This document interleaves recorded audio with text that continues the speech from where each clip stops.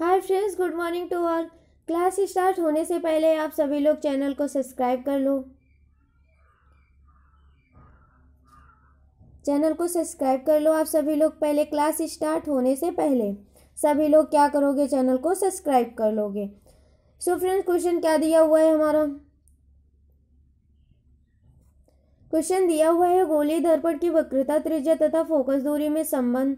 तो क्या होगा इन दोनों के बीच रिलेशन चलो फटाफट से बताओ क्या होगा रिलेशन इन दोनों के बीच? अब वक्रता त्रिज्या किससे प्रदर्शित करते हैं? आर से करते हैं। और फोकस दूरी किससे प्रदर्शित करेंगे? एफ़ से करते हैं। तो इन दोनों के बीच रिलेशन क्या होगा?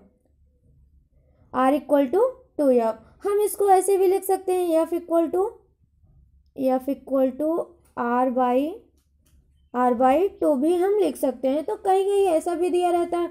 और कहीं कहीं ऐसा भी दिया रहता है। तो आप लोग कंफ्यूज बिल्कुल मत होइएगा। दोनों आंसर सही है, दोनों रिलेशन इन दोनों के सही हैं।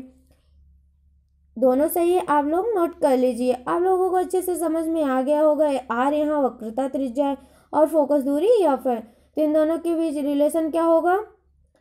R equal to two F या इसको ऐसे भी लिख सकते हो F equal to R by two तो इसको लिख लो यहाँ और करके।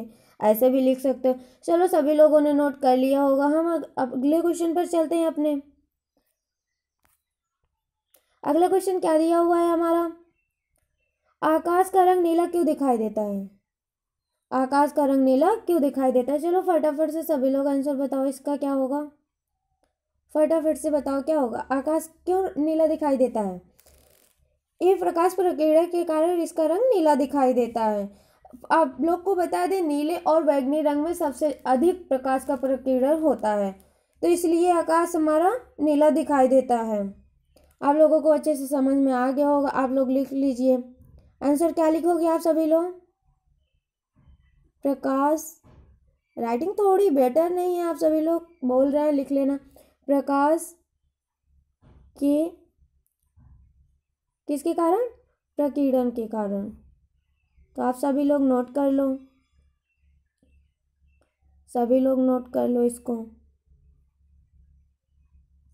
क्यों दिखाई देता है प्रकाश के प्रकीर्ण के कारण? क्योंकि